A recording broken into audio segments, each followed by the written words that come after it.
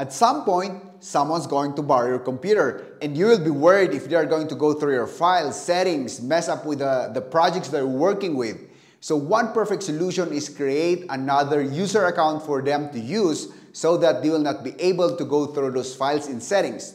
And that's what I'm going to show you in this video, creating another user account for other users. Jump in and I'm going to show it to you.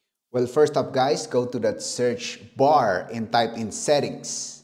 Settings app will show up. Just go ahead and click that. And of course, on your left panel, you can see the accounts section. Then, as you can see, this is my account, Ginard Guaki. It is an administrator. It's the only account that my laptop has. Now, I'm going to create another one. So, scroll down and look for other users. Click that, and then you can see add account. Well, of course, this account is going to be used my son, which the name of my son is Keegan. So, Keegan, I will not place any password. And then there you go. You click this also and make sure that the account is, of course, a standard user. Okay, if you are going to set as administrator, you have the same privilege together. So I'll just go with standard user then okay. That's how simple it is. Now, the way you check this one is go to this button and then click on my account. You can see the Keegan account there. Once I press this one, it's going to log me out my computer. So I'm using the camera to capture this one.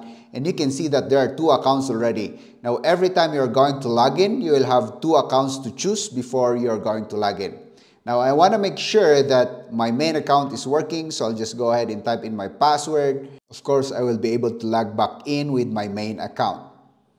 Okay, so I'll go back and try in Keegan again. It's going to log me out.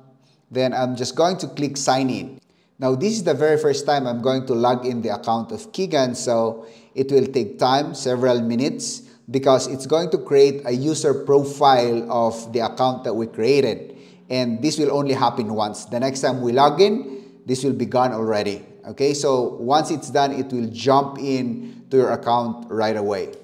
It will ask you a few uh, settings here. I just went to no, no, no, then accept, and then there you go. This is the account of my son already, and then you can see it here.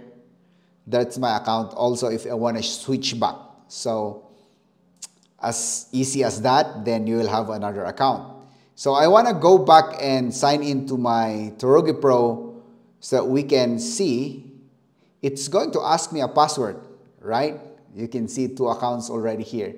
That's how simple it is, guys. If you have any questions, just drop a comment down below.